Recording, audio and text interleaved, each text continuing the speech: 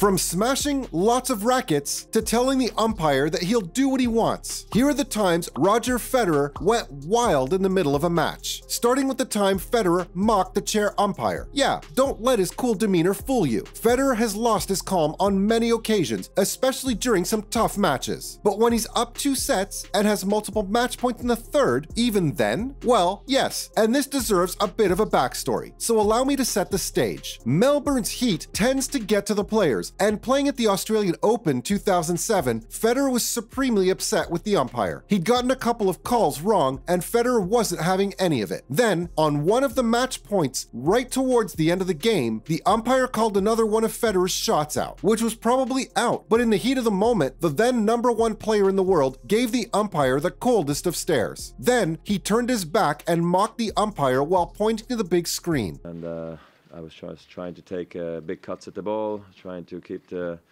the rallies to uh, to a minimal and um, make sure I, I, keep him off guard and uh, mix it up as much as I can. And I think I returned very well in the beginning. The commentators were laughing, and the crowd had fun too. But Federer was clearly very angry. Though this wasn't the only exchange he's had with an umpire. I mean, do you guys remember when Federer gave a physics lesson to the umpire? Having lost a point to Berdych on the blue clay in Madrid back in 2012, Federer walked up to the umpire and told him that he doesn't think Berdych made that shot in one bounce He explained that for the ball to spin the way it was spinning when he made contact, it was only possible after a double bounce. On the second replay, it was clear that Federer was right in his scientific explanation, and the ball did bounce twice. The umpire sided with Berdych, and an upset Federer made his way back to the court. It wasn't as wild as the rest of the instances, but deserves a mention. But it tends to get worse when he's playing someone like Rafael Nadal on clay, as it happened back in the 2011 Madrid semifinals. Once again, there was trouble with the chair umpire. Federer had edged Nadal in the first set of a thrilling encounter, but was finding it really hard to hold on to his serve in the first game of the second set. Some, fan, some fans call me that. Uh, I don't call myself that, but uh, yeah, we have a lot of animals in Switzerland. And goats are part of the, the livestock we have over there, yes.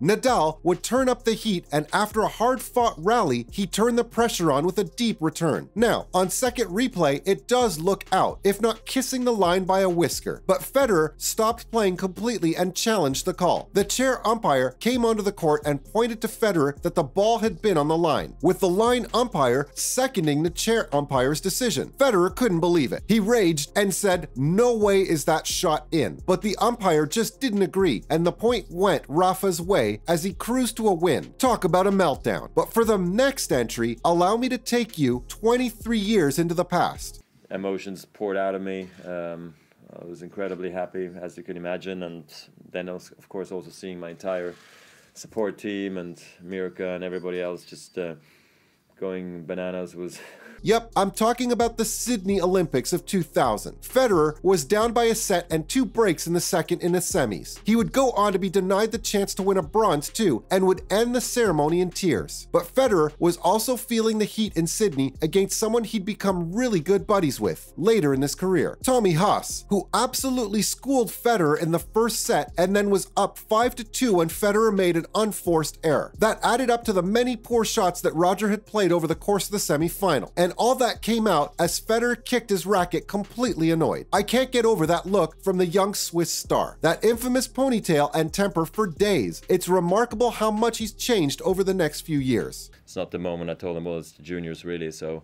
I'm happy to take a lot of pictures today, you know, and maybe you do less like today.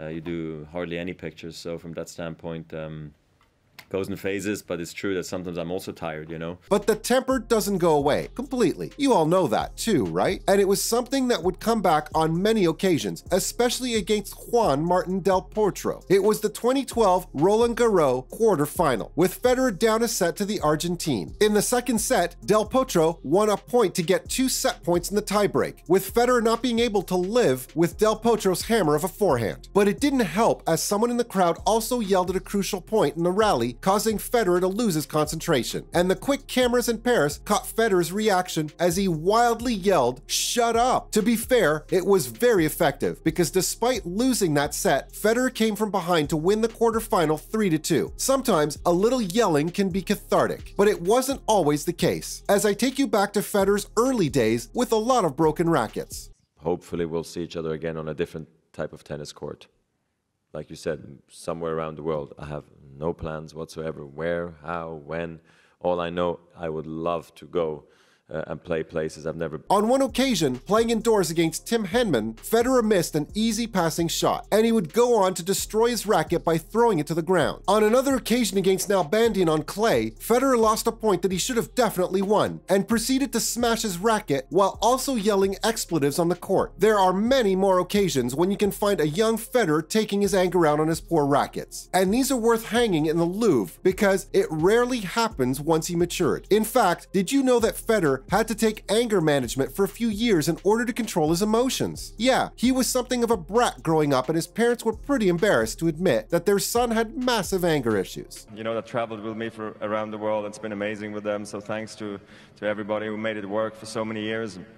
And then, of course, being on the team with Andy, Thomas, Novak, Matteo, Cam, Stefanos, Rafa, he would also cry a lot and be unable to control his emotions on the court. And then suddenly, he changed. Federer learned how to control his emotions, especially on the court, and managed to have that really calm and collected look about him, not losing it no matter what the situation, and many believed it propelled him to greatness. I agree, though you'd think it's something that would never happen again, right? But you'd be very wrong. Tennis can still be a tough sport, and it brings out the wild side, even for a calm guy like Federer. After all, he got booed for destroying his racket against Djokovic at the Miami Open 2009. This was proper wild stuff. In fact, many believe it was the first time Federer looked unlike his sporting image since reaching the top in tennis, as he smashed his racket for the first time after seven and a half years in 2009. He even got a code violation and was booed by the crowd, declining to shake hands with the umpire after a defeat in the semifinal of the 2009 Miami Open. If I feel like I can't win tournaments anymore, uh, that's another thing. And if I feel like I can't beat the best anymore, that would be another one. So as long as all stars are still aligned, I think you answered it per perfectly. is, is it, is, does that mean it's more physical or is it mental? Because. But this still pales in comparison to the next one the 2009 US Open final against Del Potro. When Federer was under the pump and feeling it against the Argentine, he felt that the umpire was giving Del Potro a lot more time to make the challenges than Federer was allowed, and asked him if he had any rules or if it was different for each player. Then, the umpire tried to shush Federer by showing him the hand, and the maestro replied by saying, Don't tell me to be quiet. When I want to talk, I talk. Whoa, bossy. And then, after his rant, the umpire tried explaining the situation, and Federer, steaming at this point, tells him, Don't talk to me. I can't lie. It was hilarious to see him that angry. That's all I had on the wildest Roger Federer moments during the match.